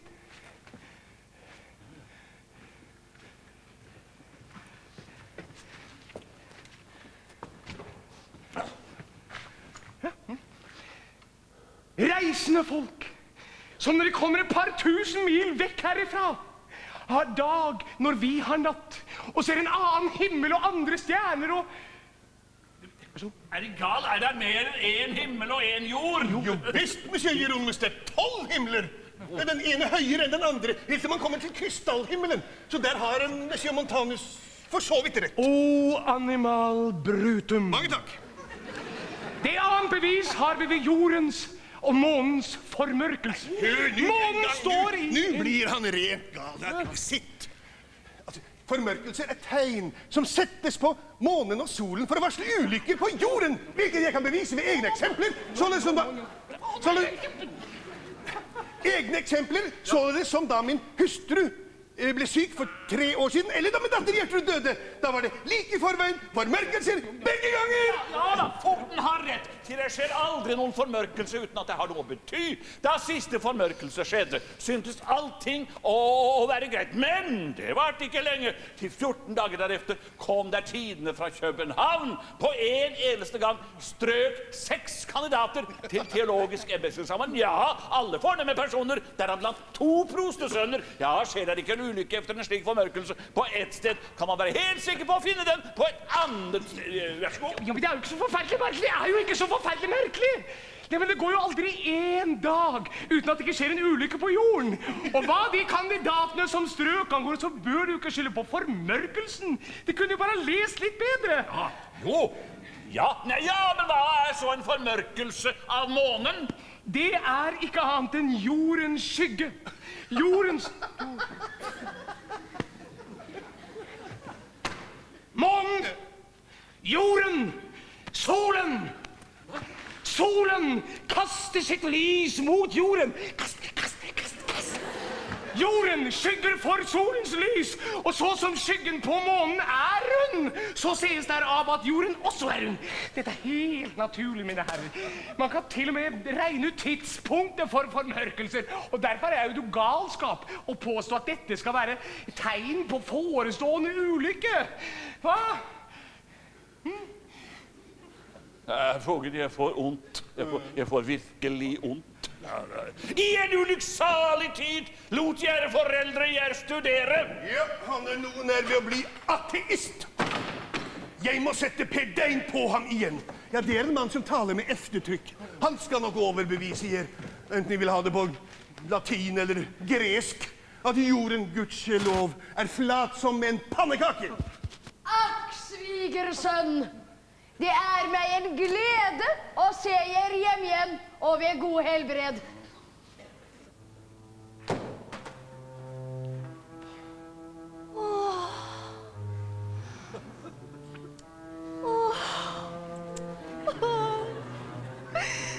Akk, min kjæreste venn, la meg få omfavne deg. Så, så, så, mitt barn, ikke så ivrig. Får jeg ikke omfavne min kjæreste som jeg ikke har sett på flere år? Hold deg unna ham, sier jeg, ellers får du stryk. Er jo gjort offentlig forlovelse imellom oss. Jo, jo, jo, det er sant nok det, men det er kommet ugreie i den sak siden. Ja, så nå. Så, så, så. så. Ja, du skal vite det, at han var forlovet med deg, så var han jo et skikkelig menneske og en god kristen. Men nå er han blitt til kjetter og svermer. Ja, han fortjener heller å føres inn i kirkebønnen fremfor å komme i, i, i svogerskap med oss. Og er det ikke verre, så skal vi nå komme til rette. Hold deg unna ham, sier jeg! Hva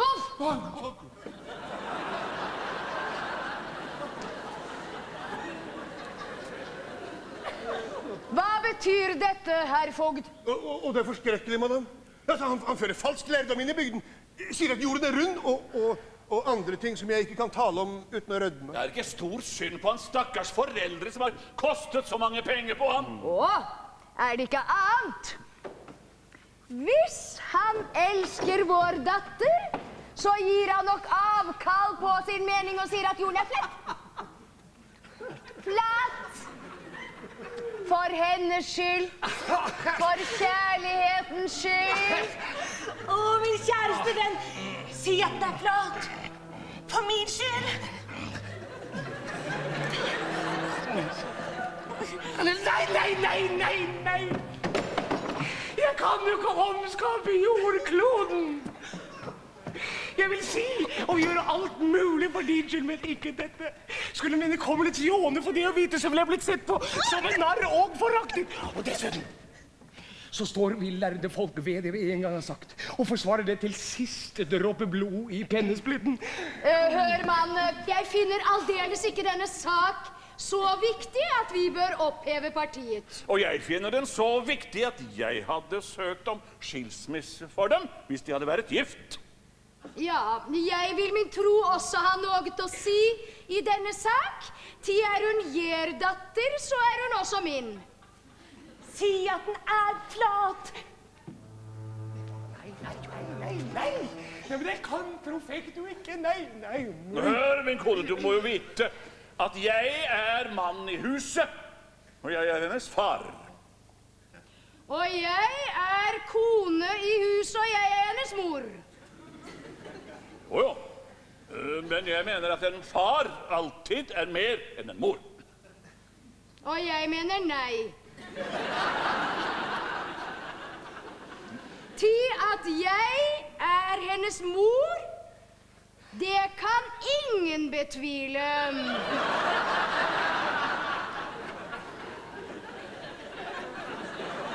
Men Men om I Ja, se det kan man aldri vite.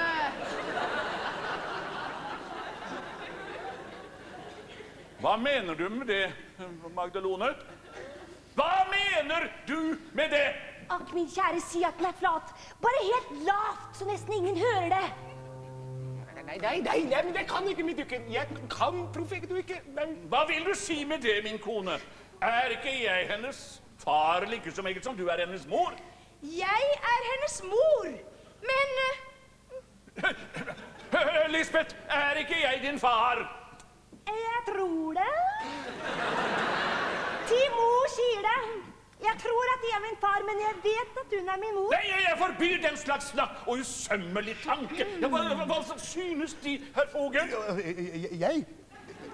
Jeg, jeg, jeg, jeg kan dessverre ikke gi mamsellen helt urett deri. eh, Til jeg kjenner et fruentim. Ja, det er nok. Takk så. Kom, la oss gå nu, og vær forvisset om, min gode Rasmus Berg, at vi får aldri min datter så lenge jeg blir i gjerde villfarelser. Si at den er flat. Nå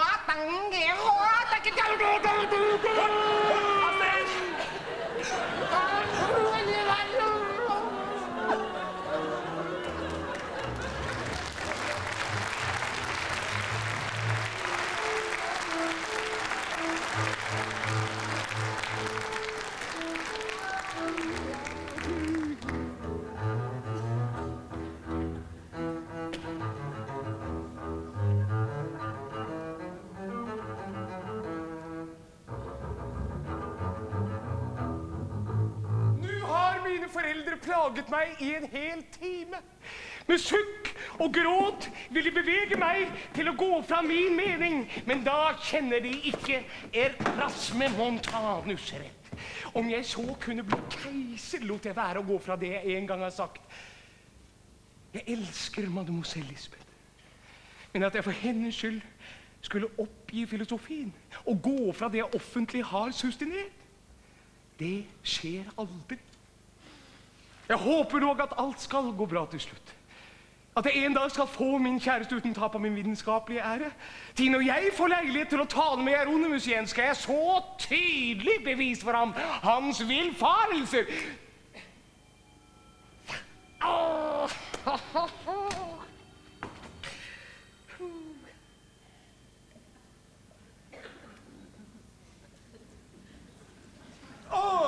Monsieur Montanus, vi har i dag måttet slite hardt for deres skyld.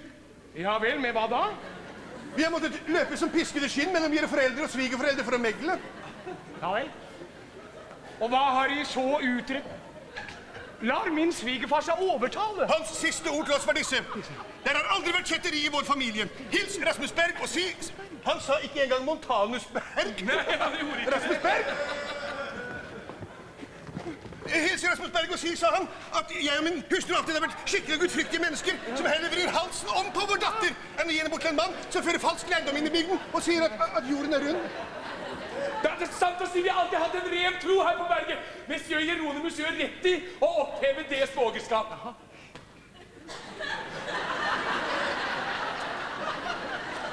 Kom, folk!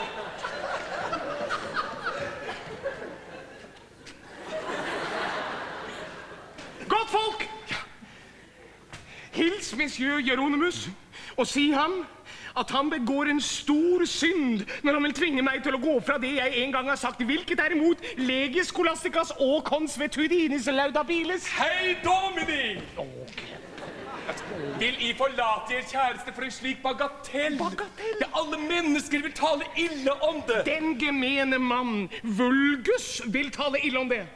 Men mine kommilitsjoner, mine studiekamerater, vil løfte meg til skyene for min standhaftighet. Men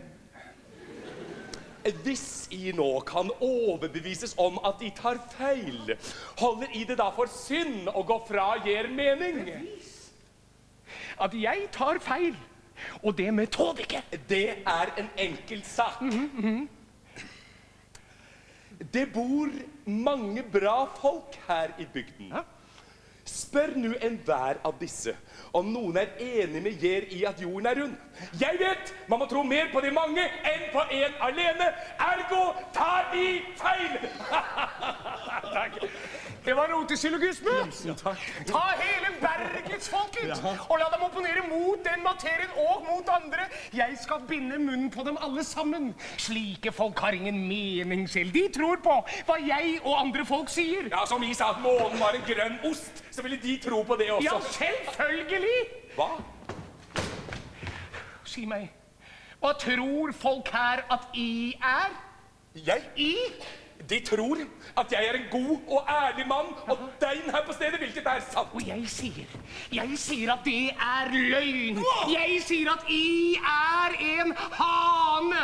Og jeg skal bevise det like klart som tre og to er fem. Og det skal bli faen til bevis at jeg er en hane! Hvordan vil I begrunne den påstanden?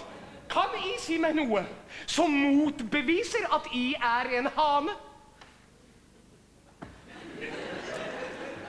Jeg kan tale. En hane kan ikke tale, ergo er jeg ingen hane. Talen har ingenting med saken å gjøre. En papegøye og en stær kan også tale. Det blir ikke mer mennesker av den Ja, men jeg kan jo bevise av annet enn talen. Jeg har menneskelig forstand. En hane har ikke menneskelig forstand, ergo er jeg ingen hane. Prove minorum! Snakk norsk! Jeg vil at han skal bevise at han har forstand som et menneske. At jeg, um, jeg forretter mitt embete upåklagelig. Hvilke er de viktigste poster i gir embete som beviser menneskelig forstand? Jeg unnlater aldri å ringe til messe på bestemte tider. Vår hane unnlater heller ikke å gale, og i tidene til kjenne når folk skal stå opp. Jeg, jeg, jeg synger jo bedre enn noen dein på hele Østlandet. Vår hane galer er også like godt som noen hane på hele Østlandet. Ja, men jeg, jeg kan støpe vokslys! Det kan ingen hane gjøre! Han kan derimot gjøre egg. Nei, nei, det er det hønen som gjør. Han er med på det! Kan I gjøre egg? Egg? Nei, nei, nei, jeg kan ikke. Nei, så selv, selv om I har forstand på er embete, så beviser jo ikke det at De er bedre enn en hade. Se, se, se, se, se. Se også hvor like jeg er. En hane har et eller annet rødt undrende på hodet. De er Nei, nei, nei, nei. En hane gal jo akkurat som vi. Nei, nei, nei. En hane brysker seg og gjør seg til med røsten akkurat som vi. Nei. En hane varsler på tide å stå opp. I deres tid for å gå i messe. Ergo er I en hane.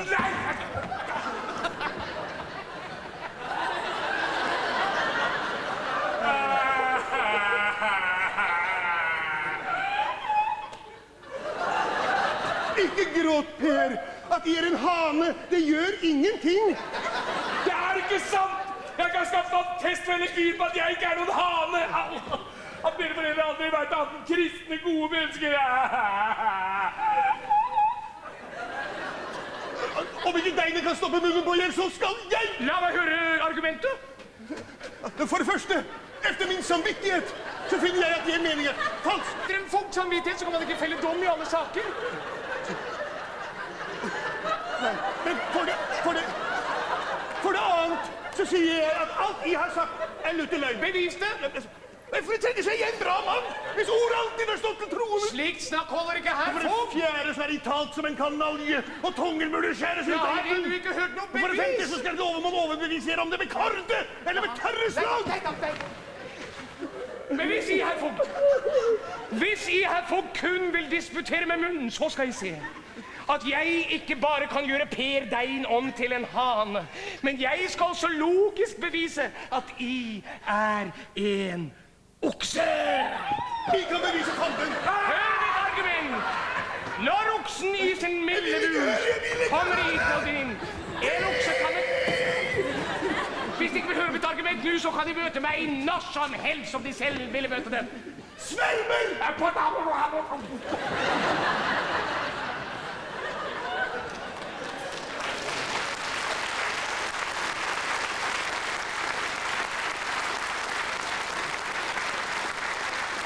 Mister, jeg mister aldri likevekten når jeg disputerer med sånne folk. Jeg blir ikke hissig. Vel transpirerer jeg meget sterk, men jeg blir ikke hissig. og Derfor var jeg også ti ganger så på tuppene da jeg disputerte med denne studenten før dag ti. Han hadde i det minste et skinn av lærdom.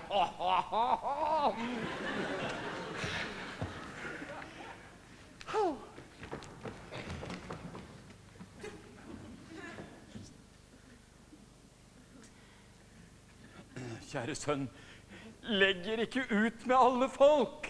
Ridefogden og deinen er blitt gjort til spott enda. Mor Nille og jeg, vi, vi tryglet dem om å slutte fred mellom deg og din svigerfar. Hva skal det tjene til da å gjøre folk til okser og haner? Det er jo derfor jeg har studert. Hva? Ja, men Det er jo derfor jeg har lagt mitt hode bløt for å kunne si hva jeg vil og forsvare det. Da syns jeg det var bedre ikke å studere på den måten. Hold munn, gamle mann! Å, du din, jeg skal, jeg skal vise deg! Din- Ja! Ta- Ikke bøkene mine! Ikke bøkene mine! Du slår ikke dine foreldre! Om jeg så gjorde det, så skal jeg forsvare det på hele verden! Jeg går ikke fra mine meninger uansett. Og bøkene mine Og bøkene Og Platon Pythagoras. Vergil. Holberg.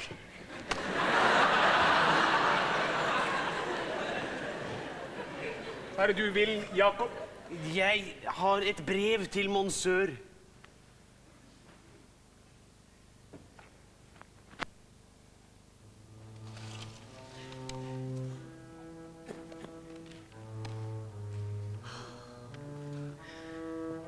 Min aller kjæreste venn. Jeg hadde aldri trodd at du så lett skulle kunne forlate henne som har elsket deg med en slik bestandig og uforfalsket kjærlighet. Og jeg kan fortelle at min far er en innbitt motstander av at jorden skulle være rund. Han holder dette for en så viktig trosartikkel at han aldri kommer til å gi meg til deg. Med mindre du altså bifaller hans og andre folks tro her i bygden. Hvilken rolle kan det spille for deg om jorden er lang eller rund eller firkantet eller åttekantet? Jeg, ber deg for all min kjærlighets skyld om å vende tilbake til din barnetro. Den som vi har levet så godt med her på berget. Hvis du ikke føyer meg i dette, vil jeg ta min død av det og være viss på at hele verden vil føle avsky for deg tid.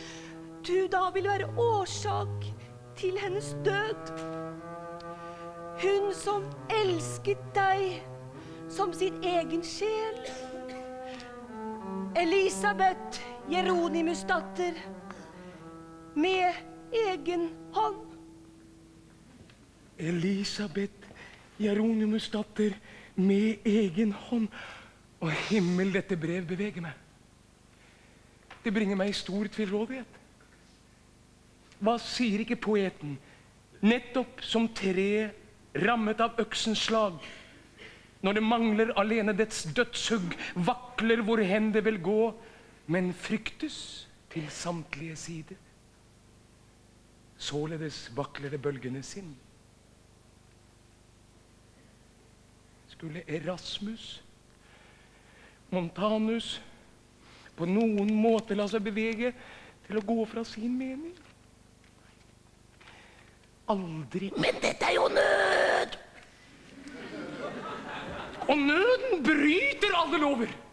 Hvis jeg ikke gir efter, så vil jeg gjøre meg selv og min kjæreste lykkelig, og hun vil ta sin død av det, og at verden vil hate meg for min utroskap. Kan jeg forlate en som i så mange år har elsket meg, og ble årsak til hennes død? Hva? Nei! Det kan ikke skje.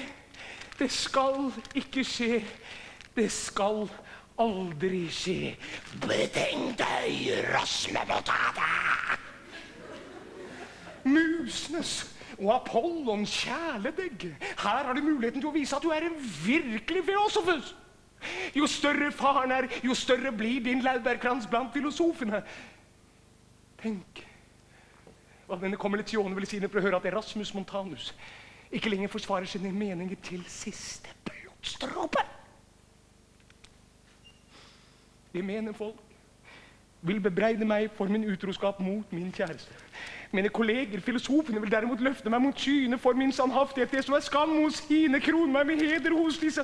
Og stå imot Erasme Montane! Stå imot denne fristelsen! Å, jeg står imot den. Å, jeg overvinner den. Å, jeg har alt overvunnet den. Jorden er rund. Jorden er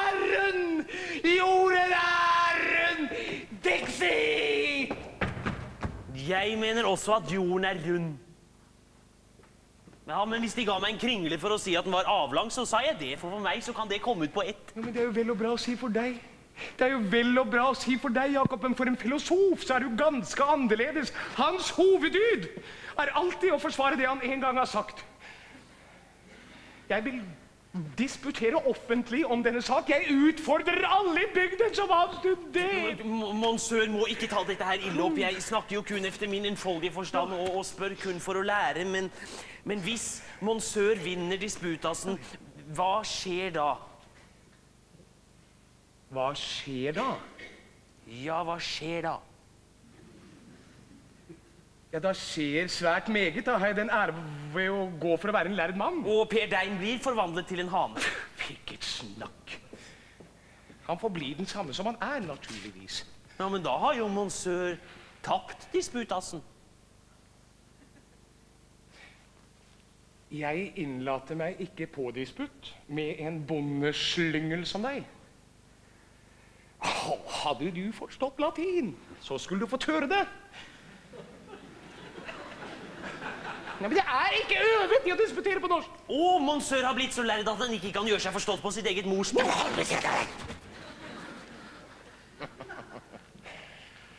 Hvorfor skulle jeg nedlate meg til å forklare min mening for folk som ikke engang vet hva entia rationes og forme substantiales, og langt mindre noe annet er? Hva? Det er jo absurdissimum å ville preke om farvene for den blinde.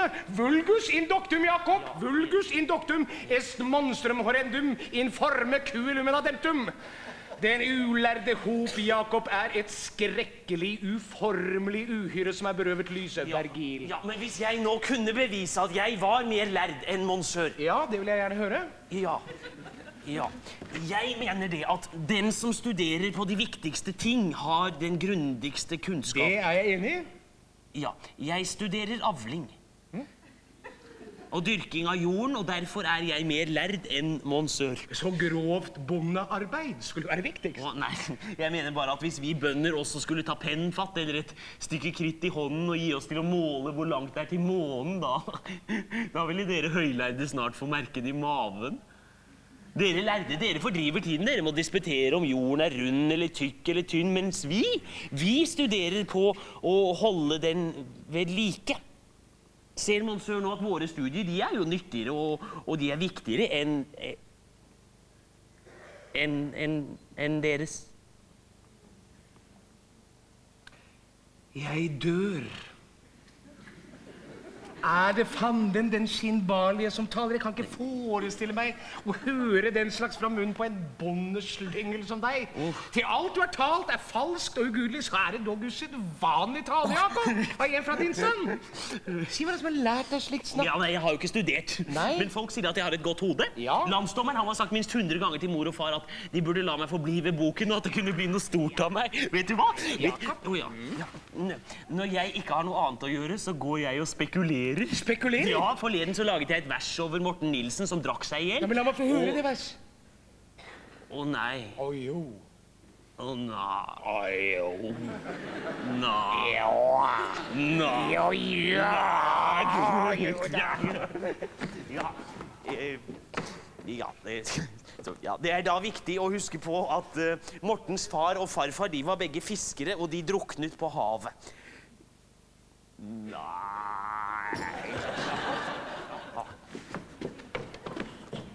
oh.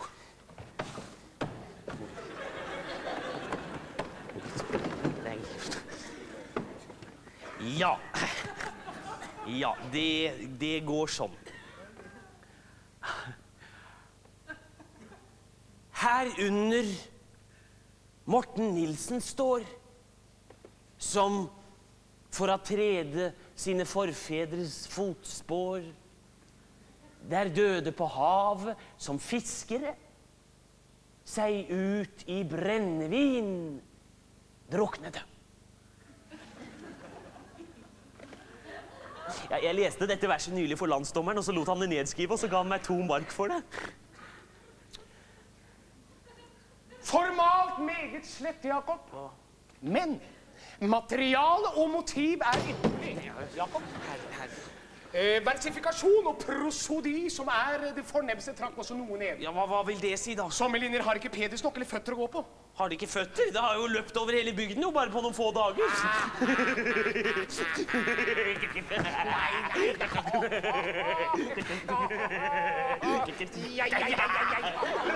Ja, ja, ja, Jakob, du har et godt hode. Og jeg skulle ønske at du hadde studert, at du hadde forstått den filosofi av instrumentales. Da kunne du ha respondert under meg. Åh.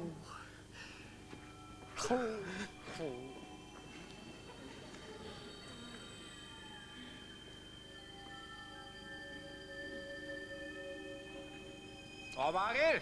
Hva kunne de gjøre ja, jeg forstår. Men når skal jeg få se denne mannen der, fogd? Jeg vil svært gjerne snakke med ham. Her han seg. Godt ut. Og en ganske flott fyr. Jaså? Og med en munn som en rakekniv. Ja, det betyr ingenting, bare han er sterk og frisk. Åh, han kan si hva han vil og forsvare det. Nå. Han beviste uttrykkelig at Per Dein var en, en hane. Hane? Ja vel. Men er han bred over skuldrene? Han er Sterk og før kar. Jaså? Alle her i huset er redde for ham. Nå. Ja, til og med foreldrene. Tjener kan når som helst forvandle dem til kyr, hester, okser. Mm. Og til mennesker igjen. Hva Vager? Vel, vel. Men ser han ut til å kunne tåle smerte? Han beviste også at jorden er rund. Ja, Det raker ikke meg, bare han er modig og har den rette glød. Og han ville sette livet til for en bokstav. Nei da. Ja, han kommer til å få alle folk her i bygden på nakken, men det bryr han seg ikke om. Han går aldri fra sin lærdom og sin mening. Herr fogd, så vidt jeg kan forstå, blir han den komplette soldat. Ja, men hvordan vil løytnanten få ham til soldat? Han er jo student! det betyr ingenting. Kan han skape folk om til får og sluter, så kan jeg forvandle en student til soldat. Jeg ville le meg i hjel om det skjedde. Når fogd og løytnant stikker sine hoder sammen, er ingenting umulig. Hva lager? Ja, se der, ja.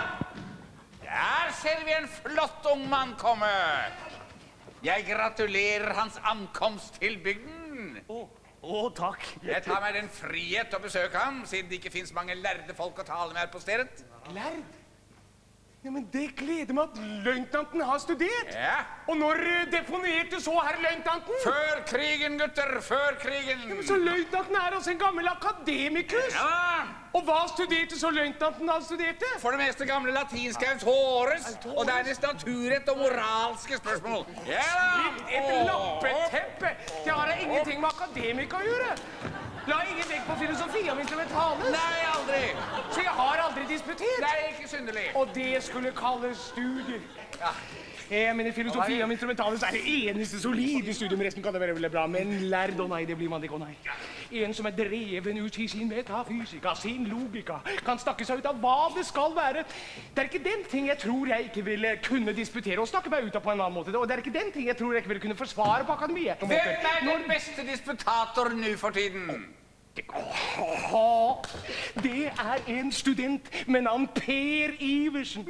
Og når han har refutert sin motstander, så det ikke kommer et ord ut av munnen på han, da sier han vil I nu ta min mening, så skal jeg forsvare jer mening. Og til slikt hjelper filosofia om instrumentalis overordentlig. Nest efter Per Iversen, så er jeg den beste. Jo, Til sist gang vi disputerte, så hvisket han meg i øret Jams humus ergo paris. Nei da! Nå er vi altså likemenn. Men jeg innrømmer villig, han ligger et lite hestehode foran meg. ja. Det nekter jeg å tro. For jeg vil si at monsieur kan bevise at det er barns plikt å slå sine foreldre. Har jeg sagt det? Har jeg sagt Har jeg sagt det, så er jeg som mann til å forsvare. Ja, men jeg vedder en dukat på at han ikke er kapabel til det. Jeg vedder en dukat imot ham. Det er sagt. La oss nå høre. Den man elsker, tukter man, ikke sant? Man bør ikke elske noen høyere enn sine foreldre, ergo er det heller ingen man bør slå mer enn sine foreldre. Det jeg en gang har fått, bør jeg efter beste evne betale tilbake. Jeg har i min barndom fått meget pryl av mine foreldre, ergo er det min plikt å pryle dem tilbake. Nok, nok, jeg har tapt. Jeg skal sannelig ha jer Jeg vil sannelig ikke ha løytnantens penger. En god Han skal bli min mellom- den. Det sverger jeg på.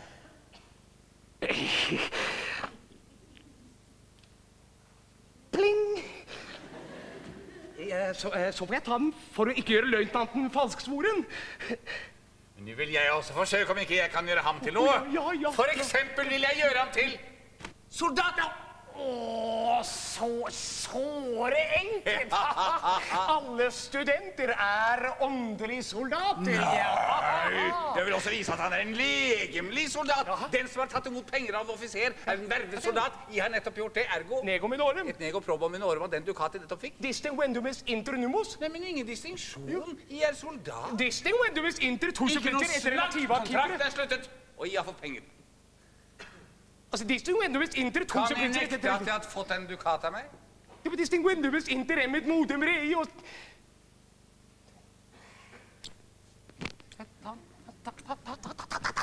Og dessuten så har jeg ingen vitner på at jeg har tatt imot pengene.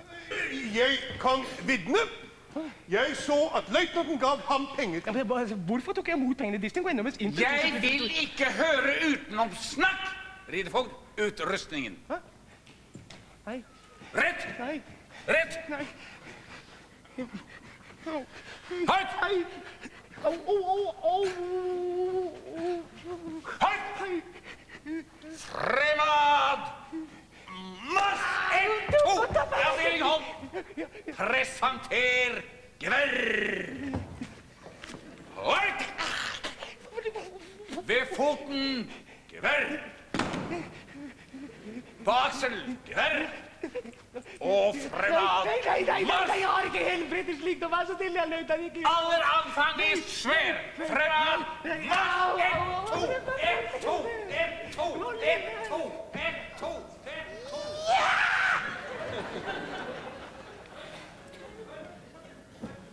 Er du sikker på det? Ja, ja, ja. Ridefogden har nettopp fortalt det. Hvis vi bare kan føre ham tilbake til den rette tro, da kjøper jeg ham gjerne fri. Akk, jeg er elendige menneske. Så, så, så, du vinner ingenting ved å tute. Min kjære far var en like forlipt som jeg, så ba jeg meg ikke tie. Hvor er han hen, da?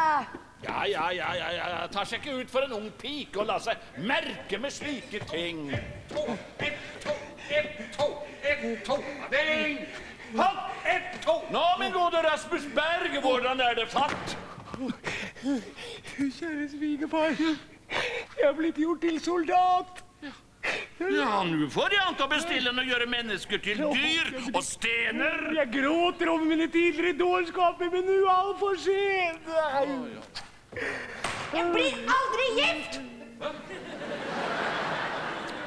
Hør, min venn, hvis jeg vil slutte med dere galskaper og ikke fylle landet opp med vranglære og disputaser, da skal jeg ikke spare noe for å løse dere ut. Ja, men jeg har jo ikke fortjent noe annet. Jeg har jo ikke fortjent noe annet, jeg som har truet mine foreldre med pryl og med. Vil arbeide for min befrielse, da sverger jeg at jeg heretter skal føre et ganske annet liv. Jeg skal aldri disputere mer og finne meg et ærlig brød. Ja, men kjære sønn, da tilgir vi deg. Mor, mor Lille, kan, kan jeg få reise til København og studere da, når Rasmus skal arbeide? Nei! Jeg skal snakke med løytnanten. Min kjære herr løytnant. Denne unge personen som er vervet til soldat, er forlovet med min eneste datter. Hun bærer stor kjærlighet for ham. Jeg Elsker han, far! Ja, ja, ti stille nå, datter. Jeg, jeg vil gjerne at han kommer løs igjen. Jeg vil svært gjerne få lov å forære herr løytnanten 50 dukater for det. 50. 50. 550 dukater? Ja, jeg må tilstå at jeg gledet meg førstningen over at han ble refset for sine villfarelser. Men da jeg siden så ham i denne tilstand og hørte at han begråt sine tidligere dårskaper og lovet både bot og bedring, da var mitt hjerte ferdig til å briste av medynk. Vi må tenke på kjærligheten, herr løytnant. Monsieur Hieronymus, det jeg har gjort, har jeg gjort til hans eget beste. Jeg forstår at han er forlovet med deres datter. Med meg! Med meg! Jeg har traktert han med sådan fasthet, så han skulle komme til sine synders erkjennelse. Og de penger jeg tilbyr, vil jeg gi til de fattige. I hvert fall det meste. Ja, jeg er en from og gudfryktig mann. Hør nå her, unge mann, jeg slipper jeg fri igjen når i høyt og hellig har bedt dere foreldre og jeg svigerforeldre om forlat. Jeg ber, jeg ber, jeg ber, jeg ber, jeg ber, jeg ber i det aller ydmyk med gråtende tårer om forlatelse. Og lo lover at Herren skal føre et ganske annet liv. Jeg skal aldri disputere mer, og jeg sier for sant at jeg skal sette mine foreldre høyere enn alt annet. Ja, Da holder vel ikke lenger jorden for å være rund, da, kjære svigersønn? Nei, faen.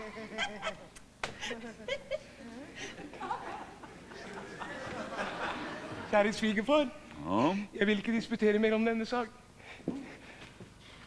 La meg isteden si det således at de aller fleste lærde mennesker eh, nå for tiden er kommet til den mening Hei! Er kommet til den mening at jorden, den er eh, Jorden, den er Den er helt rund. Kjære svigerfar! Kjære svigerfar! Jeg ga ikke uttrykk for min egen mening! Jeg ga ikke uttrykk for min egen mening! Jeg ga ikke uttrykk for min egen mening! Jeg sa jo ikke noe ord i det. Jorden er flat. Jorden er flat!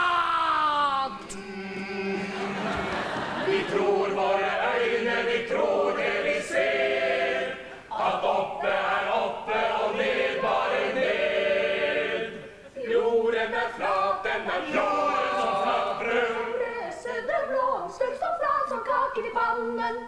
Som festpannekaker. Ja, ja, ja, ja, ja, ja. Hurra, hurra. Ja, ja, ja, ja, ja, ja. Hurra, hurra, hurra. Jorden er flat. Flat, panne, flat, flat. Rundt kun i kanten og ikke på tvers. En pannekake er jorden. Rundt kun i kanten og ikke på tvers. En pannekake er jorden.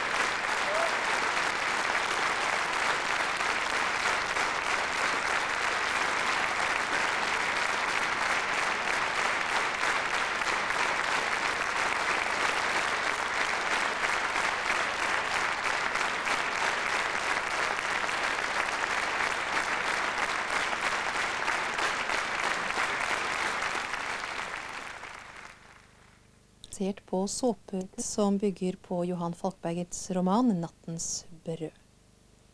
Ann-Margit vokser opp i en norsk bergstad på 1600-tallet. Kampen for tilværelsen er hard, men hun lar seg ikke knekke verken av nøden eller av øvrigheten.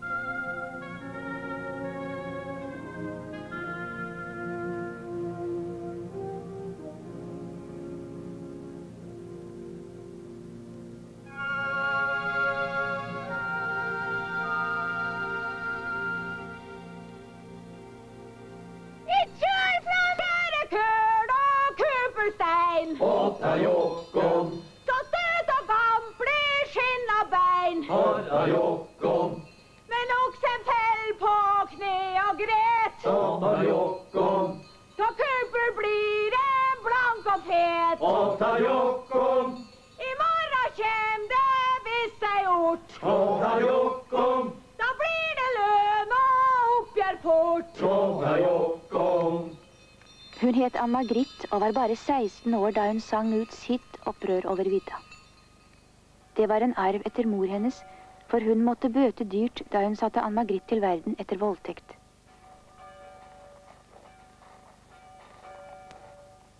Her skulle hun stå med sitt avklipte hår under tre messer, som bestemt i loven om kirkens tukt. Men det ble med denne ene gangen, for hun sprang i fossen straks hun var løs. Det var hennes opprør, og det kostet henne livet. Så måtte bestefar ta seg av Ann-Margrit.